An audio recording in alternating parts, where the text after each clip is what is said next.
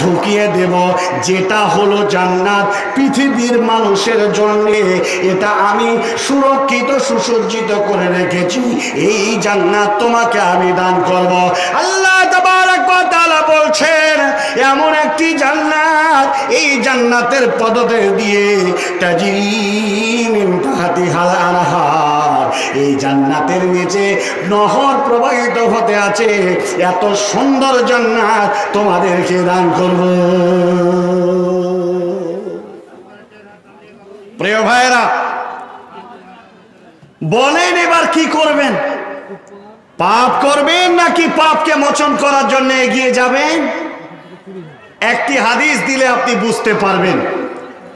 আপনার রব এমনই একটি রব।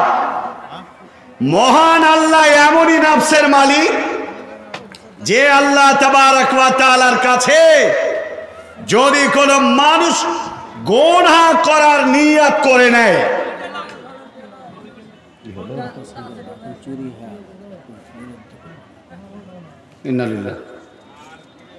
প্রিয় ভাইরা, সুপার হিরো হোন্ডা একটি মোটর সাইকেল সবে মাত্র কালো কালারের এক্ষুনি চুরি হয়ে গেল। ইন্নালিল্লাহ বলেন, যে ভাইয়ের গেল সে আফসোস করছে, কাঁদছে। যে ভাই আপনি নিয়ে যাচ্ছেন, আজকে তোবা করার আলোচনা। প্রিয় ভাই, যে মাইকের আওয়াজ যদি আপনার কানে যায়, এটা পরকাল নয়, এটা ইহকাল, এটা দুনিয়া। আপনি ধ্বংস হবেন। এতগুলো মানুষ এখানে আমরা আছি, যদি আপনি নিয়ে যাচ্ছেন গাড়িটা, হারালো মানে? কেউ না কেউ চুরি করছেন, করলেন। আপনি ধ্বংস হবেন। আর যদি ফিরিয়ে দেন, আপনি ভুল করলেন, সেটা আল্লাহ ক্ষমা করে দিবেন। এটা হিরো হিন্ডা মোটর সাইকেল কালো কালারের ভাই। কেউ যদি দেখেন বা কেউ যদি ভুল করে নিয়ে যান, স্ট্যান্ড করে দিয়ে যান, আর যদি কেউ দিয়ে যায়, আর কেউ যদি দেখেন পৌঁছে দেন। একটা কথাও তাকে বলা হবে না, কোনো আক্রমণও তাকে করবেন না। অতএব আজকে এই মাত্র চুরি হয়ে গেল। ফরিদপুর তথা গগন পাহাড়ি জামে মসজিদের অন্যতি কল্পের যে জালসা, এই জালসায় একটি মোটর বাইক চুরি হয়ে গেল। দেখেন,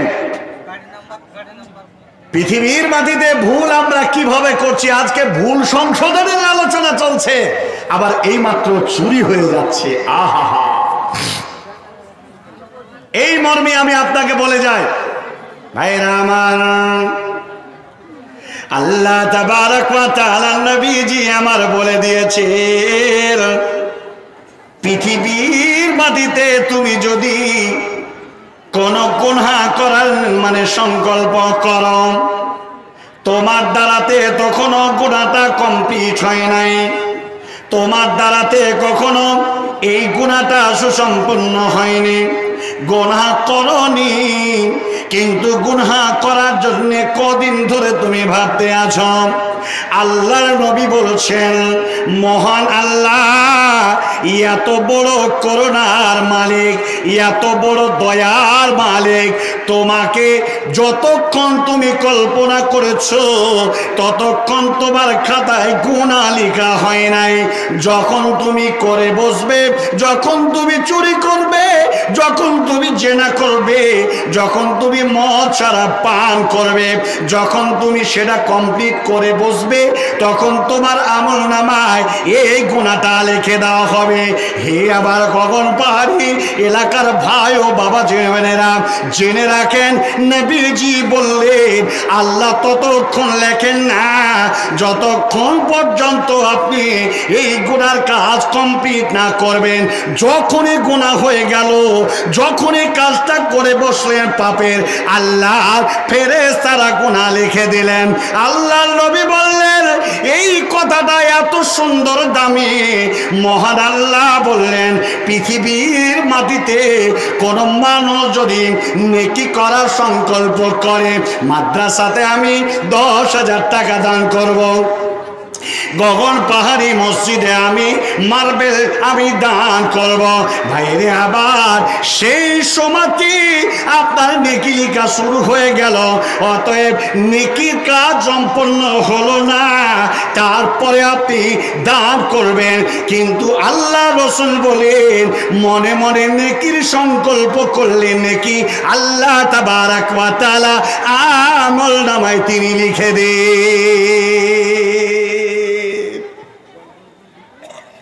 এই জমিনে যতক্ষণ আপনি বেঁচে আছেন একটা জিনিস আপনি মাথায় রাখবেন। আল্লাহর কাছে শত শত শত যদি গুণা করে, এই গুণাটা ক্ষমা হবে তার একটি দরওয়াজা রয়েছে। পৃথিবীর জমিন থেকে আসমানের ওপরে যতগুলো স্তর আছে, যতগুলো পর্দায় আছে, একটার নাম হলো প্রথম আসমান, মহান আল্লাহ এইখানে ক্ষমার দরওয়াজা তোবার দরওয়াজা খোলা আছে। পৃথিবীর মানুষ নরনারীর জন্য শোনো, আমি আল্লাহ আবার দরওয়াজা খুলে দিয়েছে। তোমরা ইস্তেগফার করো, তোমরা ক্ষমা চাও। আর ইস্তেকফারটা যেন এই হয় না সুহা হয়, আর জীবনে করব না, আর জীবনে ভুল হবে না। এমন দিয়াতে যদি তোমার তবা করে নাও।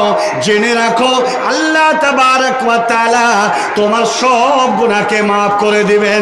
পবিত্র কোরআনুল কারীমের মধ্যে আল্লাহ তাআলা সূরা নাম্বার 25 সূরা আল ফুরকান, আয়াত নাম্বার 70 এবং 71 এ কথা বলেছেন, ওরে পৃথিবীর মানুষ, তোমরা শুনে নাও। তোমরা যদি তওবা করে নাও আর যদি তোমরা নেক আমল করো আমলে সলেহ করো, আমলের আমল করো এমন আমল খাঁটি আমল তোমরা যদি করো, পৃথিবীর বুকে যত তোমাদের গুণা ছিল, তোমার সমস্ত গুণাগুলোকে ইউবাদ্দিরুল্লাহ সাইয়া আতিহিম হাসানা, আমি আল্লাহ নেকি দিয়ে সেটাকে রূপান্তরিত করব। আমি জেনা করেছি, জেনার গুণা পূর্ণ আছে। আমি মানুষ খুন করেছি, খুনের গুণাগুলো আমার আমল নামায় লেখা আছে। আমি চুরি করেছি, মদ খেয়েছি, হিংসা করেছি, চুগলখড়ি করেছি, পরনিন্দা, পরচর্চা করেছি, মানুষের জমিনের আলকে ঠেলে মানুষকে জুলম করেছি। আল্লাহ বললেন, অন্য কেউ বলেনি, ও ভাই। আল্লাহ তাআলা তিনি বললেন, ওই গুণাগুলো যেদিন তুমি তোবা করে নেবে, সেদিন আর গোনা থাকবে না, সেদিন আর পাপগুলো থাকবে না, সেদিন সম্পন্ন গুণাগুলো সব নাকি তোমার হয়ে যাবে।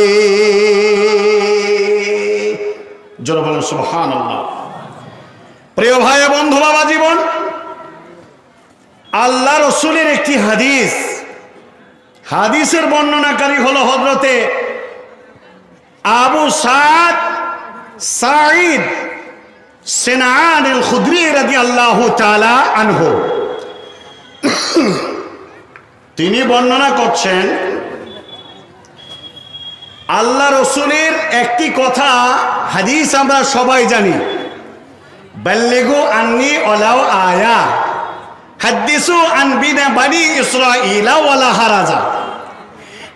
বলছেন, তোমার কাছে যদি আল্লাহর কোনো হক ইনফরমেশন আল্লাহর আয়াতের কোন নিশানির জ্ঞান যদি তোমার কাছে থাকে সেটা তোমার অপর ভাইদের কাছে সমাজে সেটা জানিয়ে দাও। বাণী ইসরায়েলের তথ্য বলো, কোন রকমের কোনো অসুবিধা হবে না, কোনো পাপ হবে না, কোনো গুণা হবে না। আবু আল্লাহ বর্ণনা করেন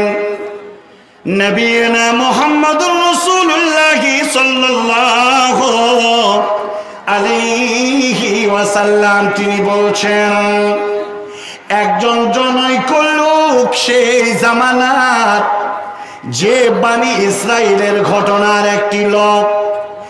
এক নয়, দুই নয় নিরানব্বইটা মানুষকে কতল করেছিল? নিরানব্বইটা মানুষকে হত্যা করেছিল।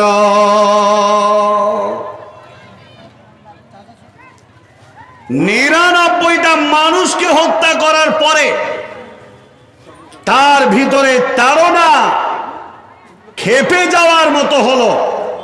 এত মানুষ খুন করলাম। আমার কি কোনোদিন এ ক্ষমা হবে এত বড় অন্যায়? আমার কি কোনোদিন মুক্তির কোনো রাস্তা পাওয়া যাবে না? বন্ধুরে আমার মানুষদেরকে জিজ্ঞাসা করতে শুরু করলাম। একজন ব্যক্তি তাকে জানানো শোনো ভাই, তুমি একজন রাহেব আছে। খ্রিস্টানদের রাহিবর কাছে তুমি চলে যাও।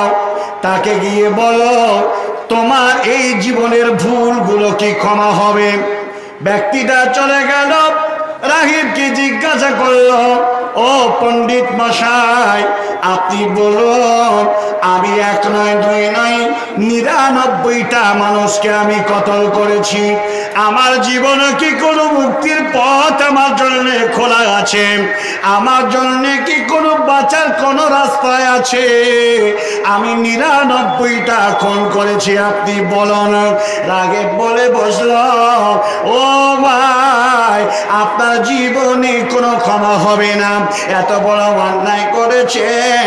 আপনার জীবনে কোনো দিন এ গুণা আপনার মাফ হবে না। তুমি বাঁচতে পারবে না, তোমাকে নরকবাসী হয়ে যেতে হবে। সেই ব্যক্তির সঙ্গে সঙ্গে আরও ক্রোধ বেড়ে গেল, রাগ বেড়ে গেল। সঙ্গে সঙ্গে ছোড়া বের করল এবং সেই রাহিবকেও হত্যা করল, কতল করে দিলাম একশোটা ফাঁকাম্মালা মিয়া একশোটা পূর্ণ হয়ে গেল মানুষ হত্যা করার। মনের ভিতরে আরও জ্বালাতন শুরু হয়ে গেল, আরও যন্ত্রণা বেড়ে গেল। আমি নিরানব্বইটা খুন করেছিলাম, ক্ষমার রাস্তা খুঁজতে গেলাম। আমাকে ক্ষমা করার কোন নির্দেশ মানে রাস্তা বলে দিতে পারল না। আমি সঙ্গে সঙ্গে তাকেও আমি হত্যা করলাম। এখন আমার পরিপূর্ণ হলো হান্ড্রেড একশোটা মানুষ হত্যা। তারপরে কুস্তি শুরু করল এরপরেও কি আমার জীবনে কোনো ক্ষমা হবে? আমার কি কোনো মুক্তি হবে? আমার কি কোনো পরিত্রাণ হবে? লোকেরা বলল, রে ভাই, তুমি চলে যাও, একজন আলিম রয়েছে। আল্লাহ নবী হাদিস শরীফটাকে এমন করে বলছেন, লোকটি চলে যেতে শুরু করল, যেতে যেতে যেতে একজন আলেমের দ্বারস্থ হলো। আলেমকে বলছেন, ও বলো আপনি শোনেন, আমি জীবনের মাটিতে আমি নিরানব্বইটা খুন করেছিলাম। সমস্ত জীবনের ইতিহাসটা তার কাছে ব্যক্ত করা হলো। নিরানব্বইটা খুন করেছিলাম। আমি আবার পুনরায় পুনরায় আল্লাহ দিকে ফিরে যাওয়ার জন্য আমি নিয়াত করলাম। আমাকে রাখে বলল, তোমার কোনো মুক্তির রাস্তা নাই, বন্ধ হয়ে গেছে। অতএব তোমাকে নরক চলে যেতে হবে। রাগ আর সহ্য করতে পারলাম না। আমি তাকেও আমি হত্যা করে ফেললাম। মৌলানা হুজুর, আপনি বলুন, আমি একশোটা খুন করে ফেলেছি। আমার জন্যে কে কোনো মুক্তির কোন রাস্তায় আছে? ভাইরা আমার যার ভিতরে যার ভিতরে কোরআনের, হাদিসের, আসমানি কিতাবের আলো থাকবে, সেই ব্যক্তি বলে দিতে পারবে, মহান আল্লাহ কেমন আর মানুষের কেমন কি অবস্থা তার সঙ্গে আচরণ হবে। সঙ্গে সঙ্গে বললাম, ও ভাই, তুমি শান্ত হও, ধৈর্য ধরো। আসমান এবং জমিনের মাঝে তোমার ক্ষমা থেকে কেউ তোমাকে রোকাওয়াত করতে পারবে না। তোমার ক্ষমা হয়ে যাবে, ক্ষমা হয়ে যাবে, মাফ হয়ে যাবে। আমি যে কথাগুলো বলছি সেটা তুমি শুনে নাও। লোকটি কাছে এলো।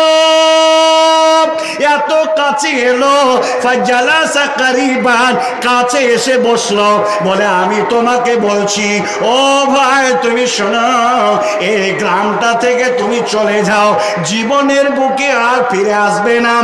এত বড় পাপের জায়গা। এই জায়গায় কোনোদিন তুমি ফিরে আসবে না। অতএব তুমি শুনে নাও। অতএব ভালো করে মনে রেখে দাও। এই গ্রাম থেকে তুমি অমক গ্রামে চলে যাবে। সেখানে তুমি দেখবে মহান আল্লাহ তাআলার দাসত্ব করনেওয়ালা ব্যক্তি বর্গরা আল্লাহ দাসত্ব নিয়ে তারা এবাদত খানায় এবাদত করতে আছে। অতএব তুমি শোনো, সেখানে যখন তুমি পৌঁছে যাবে, সেইখানে গিয়ে তুমি আল্লাহ দাসত্ব তাদের সঙ্গে তুমি করতে শুরু করবে। রুকু করবে। সেজদা দিবে, আল্লাহর কাছে তুমি ইস্তেগফার করবে। অতএব তুমি কোনোদিন কাতরে, এই পাপের জন্মের জায়গাতে আর কোনোদিন ফিরে আসবে না। অতএব তুমি যাও যাও যাও, আল্লাহ তোমাকে কবুল করে নেবে, ক্ষমা করে দিবে। এবার তুমি চলে যাও।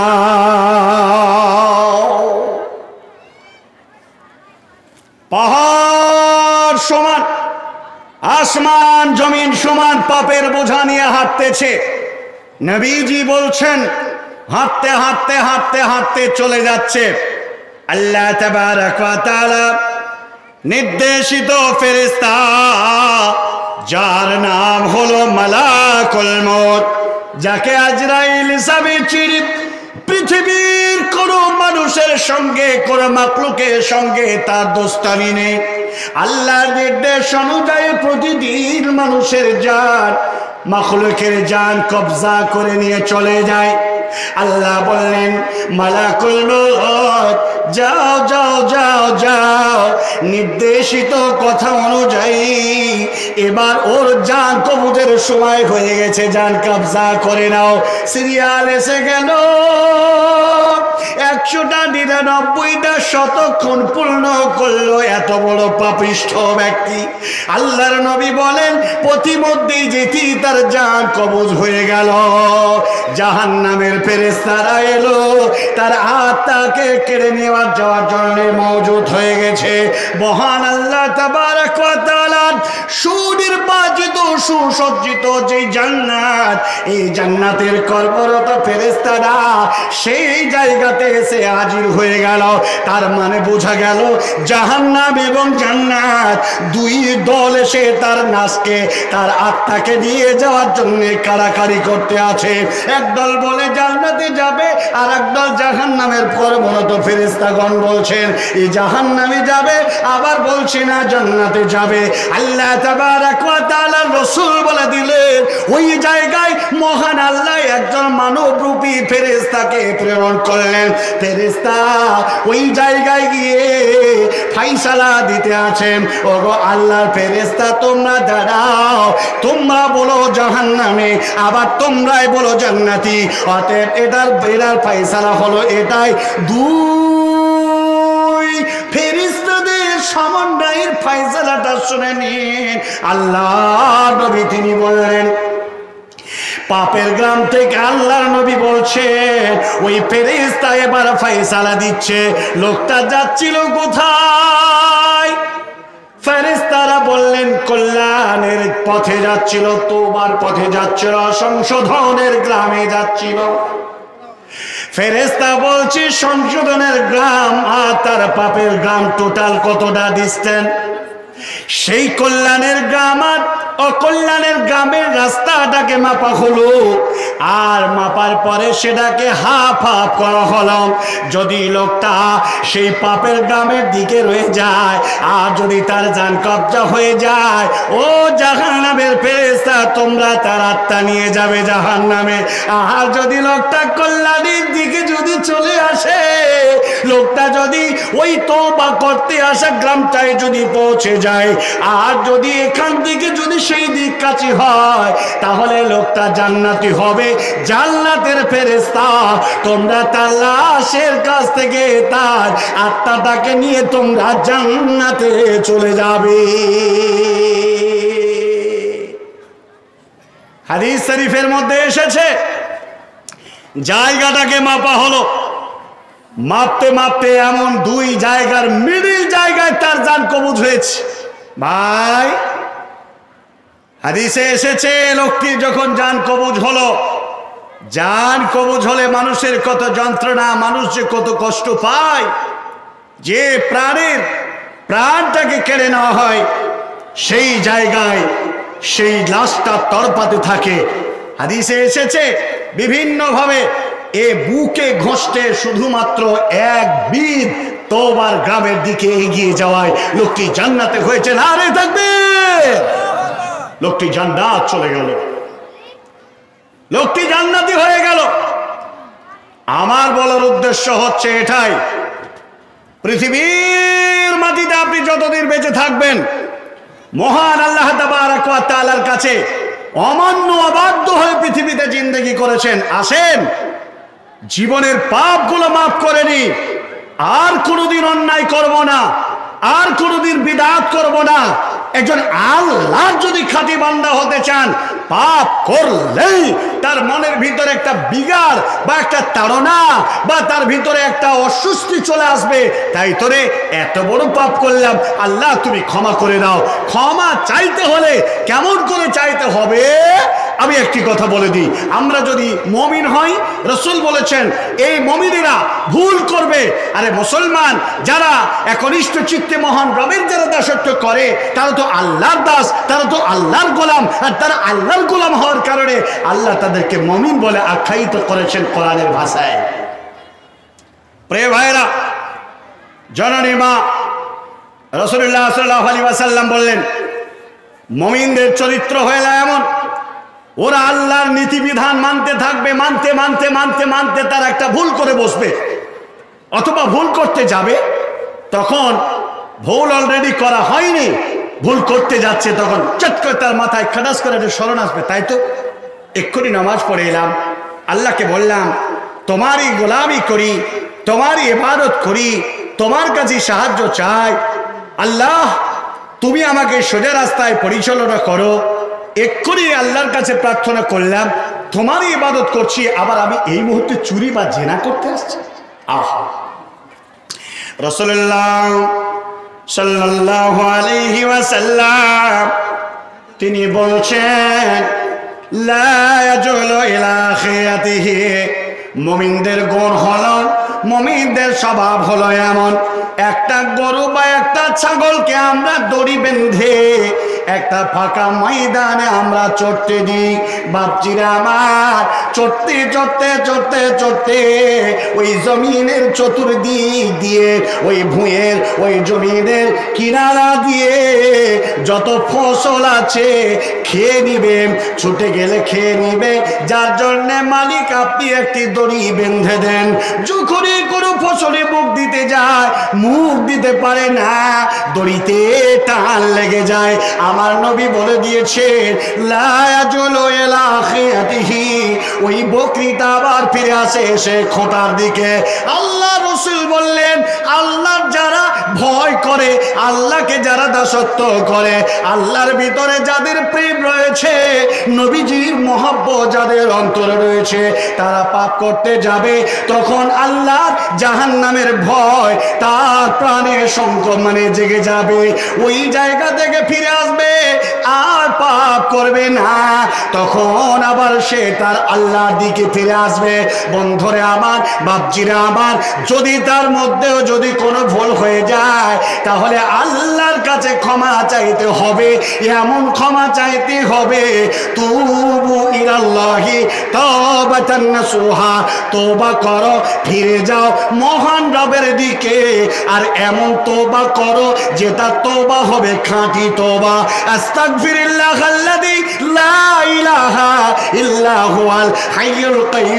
আল্লাহর কাছে দোয়া করেন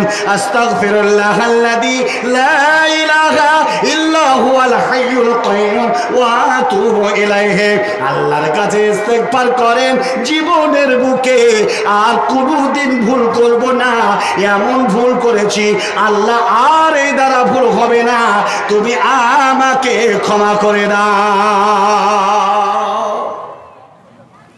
বলেন তোবার শব্দর অর্থ হলো ফিরে আসা, প্রত্যাবর্তন করা। মহান রবের দিকে একনিষ্ঠ চিত্তে, আল্লাহর সন্তুষ্ট চিত্তে ফিরে আসা। কোনোদিন মিস্টেক করব না। আর যারা পাপ করেছেন, এই পাপকে মাফ করার জন্য উদ্বিগ্ন হয়ে যান। জমিন এটা। এই জমিন থেকে যদি আপনি ক্ষমা না করে নিতে পারেন জাহান নামের আজাব এত কঠিন এত কঠিন যে জায়গা থেকে আপনি পরিত্রাণ পাবেন না। এটা হাদিস শুনেন। রসুল্লাহ সাল্লাহ আলী ওয়াসাল্লাম একজন সেই মহিলার কথা বলছেন। যে মেয়েটা গাবিদি বংশের মহিলা। এ মহিলাটা জীবনে এত মানে ভুল করেছে। আল্লাহর নবীর কাছে এসে বলছেন, ইয়া আল্লাহ রসুল, আনা জান্নাইত ফাতাহিরনি, ইয়া রাসূলুল্লাহি সাল্লাল্লাহু আলাইহি ওয়াসাল্লাম। নবী গো, আমি জেনা করে ফেলেছি, আমার উপরে পবিত্রতা করার বিধান আপনি আপনি চালু করে দেন। নবীজি কোনো কথা বললেন না। বিশ্ব নবী আমার বললেন, বাড়ি চলে যাও। মেয়েটা বাড়ি চলে গেল। আবার মেয়েটা পরের দিন নবীজির কাছে আসলাম। আসার পরে বলছে, জান্নাই তো রাসূলুল্লাহ। নবী গো, আমি যেটা করেছি আমাকে আপনি ক্ষমা করে দেন। আল্লাহর কাছে ক্ষমার রাস্তা বলে দেন, আমাকে পাক করে নেন। আপনি ক্ষমা করতে পারবেন না, এটা না বলে বলছে, আল্লাহর কাছে ক্ষমা পাইয়ে দেন। তার মানে হলো ফাত হেরেনি আমাকে আপনি পাক করে নেন পুত পবিত্র করে নেন। নবীজি, আপনি এই বিধান আমার উপরে চালু করে দেন। নবীজি বললেন বেটি, তুমি বাড়ি চলে যাও। মেয়েটা বাড়ি চলে গেল। পরের দিন আবার নবীর কাছে আসছেন। তার মানে বোঝা গেল, মেয়েটা কতটা আল্লাহকে ভয় করছে। মেয়েটা পৃথিবীতে বেঁচে থাকতে জাহান নামকে কত ভয় করছে। যে জাহান নামের ব্যাপারে আল্লাহ ওয়া বললেন, নিশ্চয়ই জাহান নাম এমন একটি নোংরা, এত ঘাত, এত পাপের জায়গা। এই জায়গা থেকে পরিত্রাণের জন্য আমার বান্দারা আল্লাহর কাছে প্রার্থনা করে, রব্বানা আশরিফ আন্না আদাবা জাহান্নাম, ইন্না আদাবাহা কানা গরামা। হে আমার আল্লাহ, আমাকে জাহান্নাম থেকে বাঁচাও, নিশ্চয়ই জাহান্নামের আজ আজাব নিশ্চয়ই জাহান্নামের আজাব এত শক্ত, যদি কারও ওপরে একবার চালু হয়ে যায় অবিরাম চলবে তাকে কোন রকমের কোন রেস দেওয়া হবে না। চলবে চলবে চলবে, এটা বন্ধ হবে না। অতএব নবীজি, আপনি এই জাহান্নামের আজাব থেকে মুক্তির জন্য আপনি আমাকে পাক পবিত্র করে রে। নবীজিকে বলছেন, ইয়া রাসূলুল্লাহ, আমি যে গুনাহ করেছি, পাপ করেছি, এ দেখেন আমার পেটে বাচ্চা, এ দেখেন আমি হুবলা অবস্থায়, হামিলা অবস্থায় আছি। নবীজি বললেন, বেটি, বাড়ি চলে যাও বাড়ি যেয়ে যেদিন বাচ্চা জন্মগ্রহণ করবে, সেদিন তুমি আমার কাছে এসো। একটা বাচ্চা জন্মগ্রহণ করতে কত সময় লাগে? ন মাস, দশ দিন, সাড়ে ন মাস। ভাইরা আমার, মেয়েটার বাচ্চা হয়ে গেল।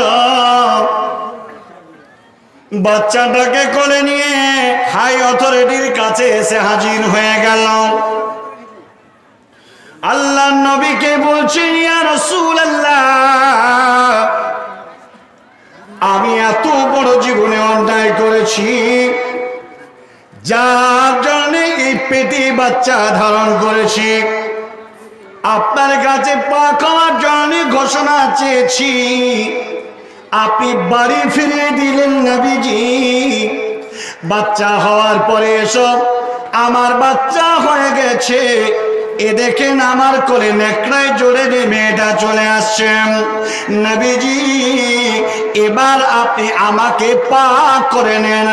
আল্লাহ নবী বললেন, এই বাচ্চাটার হক রয়েছে তোমার কাছে।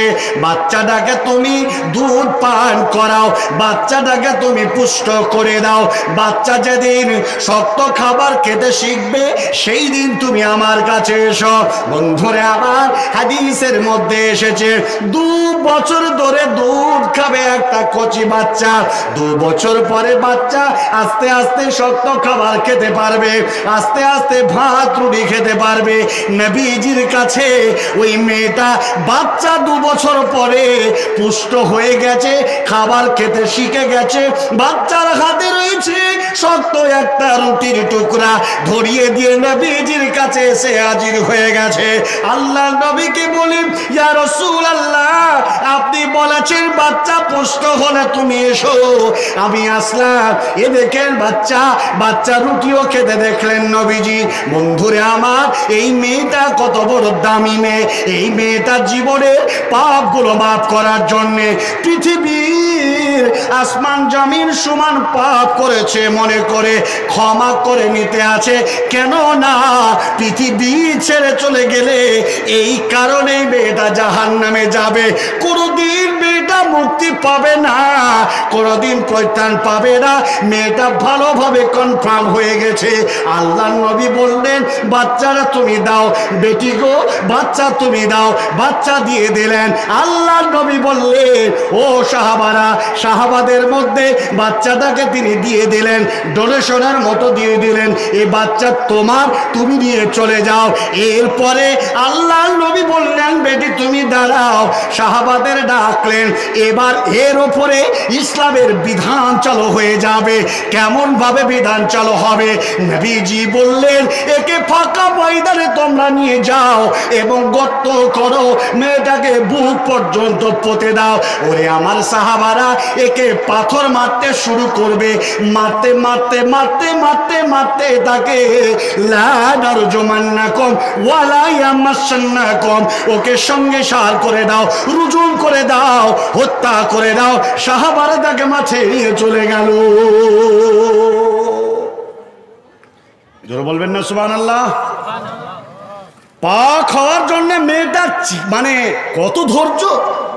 পৃথিবী ছেড়ে চলে যাব। পাপ মাথায়, পাপ নিয়ে আল্লাহর কাছে যাব না। বলুন, আমরা কত পাপ করছি? আমাদের কত পাপ আছে? আরে এখানে যত লোক আমরা বসে আছি, মৌলিক এত বড় বড় পাপ আমাদের ভিতরে আছে। তারপরে শেষ করে নি হাদিসটা? নিয়ে যাওয়া হলো। গর্ত খনন করা হলো।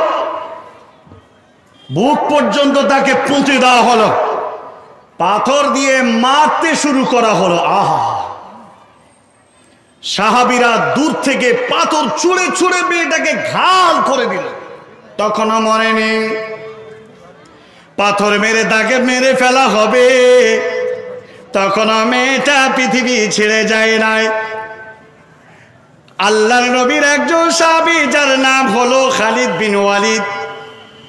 এ খালিদ বিন আলিদ এত মোটা একটা পাথর তার দিকে লক্ষ্য করে ছড়লেন।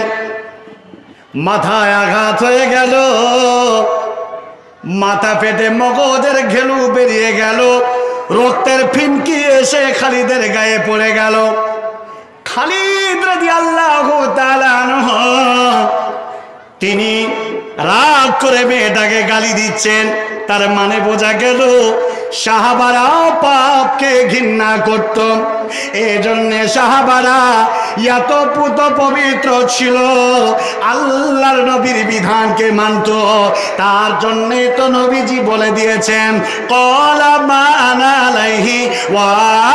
সাহাবিহি যারা আমার নীতিকে, যারা আমার সাহাবীর আদর্শকে, যারা নীতিমালাকে মেনে নিল, ওরা জান্নাতি হয়ে গেল। এই জন্যে এই সবে যখন পাথর ছুড়লেন আর যখন মাথা ফেটে গেল, মগজ বেরিয়ে গেল, মেয়েটা মারা গেল, রক্তের ফুনকিটা ছুটে এসে খালিদের গায়ে পড়ল। খালিদ রাদি আল্লাহ রাগ করে মুখ থেকে একটু অশ্লীল ভাষা বের করলেন, নবীজি আবার দাঁড়িয়ে আছে আল্লাহ নবী বলছেন, খালিদ রে, এমন ভাবে মেয়েটাকে তুমি গাল দিও না। কেননা তুমি জানো না, এই মেয়েটা এত শক্ত তোবা করতে এসেছে, এত দামের তোবা করছে। এই জবরদস্ত তোবাটাকে যদি সত্তর জন পাপীকে ভাগ করে দেওয়া হয়, বন্টন হয়ে যাবে। সত্তর জন পাপীর মানুষের গুমার ক্ষমতার যে তোবা একাই করতে এসেছে, অতএব মেয়েটাকে গাল দিও না। আল্লাহর নবী জনাবে রসুল্লাহ সাল্লাহ আলাইহি ওয়াসাল্লামা, তিনি গোসল গোসল করানো হলো। নিজেই তিনি জানাজা পড়ে মেয়েটাকে মাটি দিয়ে দিলে রসল ঘোষণা দিলেন, এই মেয়েটা যেমন তেমন মেয়ে নয়, মেয়েটা জান্নাতি। জোরে বলেন সুবহান আল্লাহ প্রিয় ভাই দুটি হাদিস বললাম। এক বাণী ইসরায়েলের যুগের লোকটি দুই, নবীজির একজন মহিলা। এই সেই জামানার। বোঝা গেল, পৃথিবীর মাটিতে পাপ হয়ে যাবে। এই পাপকে ক্ষমা করার জন্যে পাগলার মতো ছুটে বেড়াতে হবে। ক্ষমা হলো কি হলো না? হাই অথরিটি নবীজি নেই। নবীজি যদি বেঁচে থাকতেন, তাহলে পাপ ক্ষমার একটা রাস্তা বেরিয়ে যেত। অতএব, হে গগন পাহাড়ি ফরিদপুর এলাকার আমার ভাই ও বাবা জীবনেরা, আমি আপনার কাছে বলতে চাই, এ হলো পরিস্থিতিতে আপনি যা পাপ করেছেন, আপনার যা সঞ্চিত, অর্জিত যা গুনহা, এই সঞ্চয় করে রেখেছেন, শয়তানকে খুশি করে আসুন।